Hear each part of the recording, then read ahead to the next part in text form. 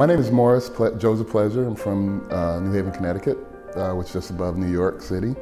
And uh, I'm a musician, producer, uh, businessman of sorts, and um, kind of uh, man of the world. And I'm very proud of uh, you know teaching kids and, and, showing them what I've learned over 30 years in the business. What I um, what I did learn is that now there's sometimes there's a little bit of a stigma between like gospel or secular music and church music. And I concentrate more on the spirituality of music, which I believe that if anybody's really uh, doing music where they're connecting with other musicians musically, like uh, I'm, I'm playing with a band and I'm, it's actually unspoken communication that we're doing. The bass player, the, the singer, we're all listening to each other, we're all speaking to each other. To me, that is spirituality. I realize that when I'm playing music at the highest level of my own playing, um, and, I, and I would contend that it's what most of us are searching for is that feeling of not actually controlling the music, but letting it, letting it happen as opposed to making it happen. And then the fact that it crosses all lines of age and race and religion and sex and everything else.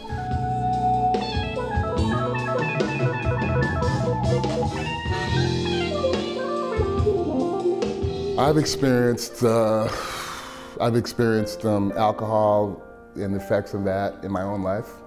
I've experienced it in, in the, um, that of my parents. Um, I've experienced it in that of my colleagues.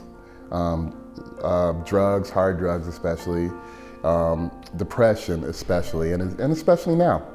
Because um, right now there's, there's like, the creative arts have kind of been diluted, you know, by so many things, which I don't even have time to mention.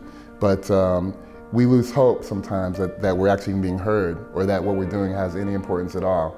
We know it's really important to us. Um, we feel that we're touching people sometimes, but then there's also feels like there's this kind of disconnect and nobody cares. Couple that with like some financial hardship, which most of my friends are really going through a very tough time right now.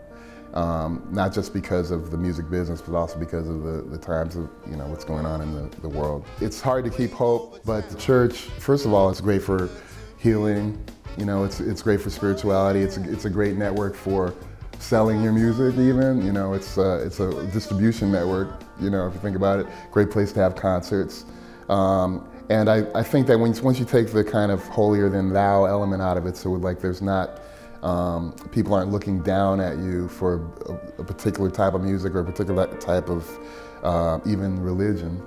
You know, um, I think I, I, love the idea that it caters to artists of all religions, even though it comes from the Church of England. Um, I think that's really important because once you start any kind of an exclusionary thing, that's when that's when you lose. I really believe. Um, and people need it, and people need to be part of a community. Artists need to feel like they're part of a community um, and not just out there on their own, that there are others like them going through what they're going through. And uh, so I just, I just love it, you know, what the Haven's doing. I think it's great. It's other people going through the same thing. Um, secondly, I'm impressed that there's, you know, there, there's a lot of times like you'll say, okay, for example, even myself, I'll go like, well, I could really use somebody to talk to.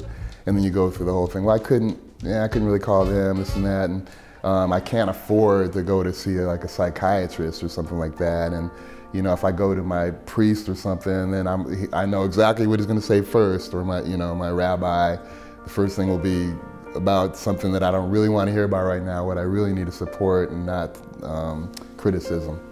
So um, I think if you take those things out of it and you make a very comfortable space for someone and a space that they can create so that, you know, not only can they kind of get it off their chest, but they can also feel free to start painting, you know, right there. That kind of thing I, I think is, is invaluable.